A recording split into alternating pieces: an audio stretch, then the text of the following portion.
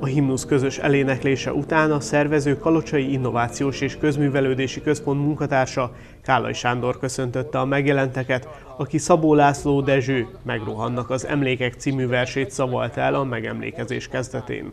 Ezt követően Schmidt Rajmund osztotta meg emlékező gondolatait. Az önkormányzati képviselő felidézte Nagy Imre miniszterelnök 1956.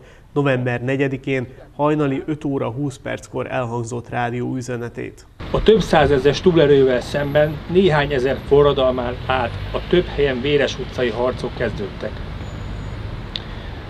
A Magyarország függetlenségért vívott szabadságharc végül november 11-én bukott el. Tízezre sebesültek meg, több ezer ember vesztette életét. Az 56-os év eseményeit a szabadság szerető magyar nép lázadásának nevezte a szónok, amikor a magyar nép végre maga akar dönteni a sorsáról. Mint kiemelte, halljuk 1956 üzenetét. Értjük, és nem feledjük a forradalmárok és az őket támogató csendes többség gondolatait. Visszatekintve látnunk kell vívódásaikat, félelmeiket, dilemmáikat. Átérezzük nehéz döntéseik fájdalmas következményeit.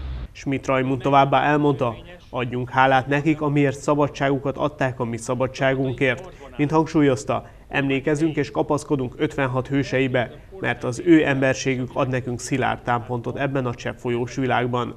Mint rámutatott, nyers erővel meg lehet ugyan fosztani egy népet a szabadságától, de erőszakkal, hatalmi önkénnyel nem lehet társadalmi támogatást, erkölcsi legitimitást nyerni.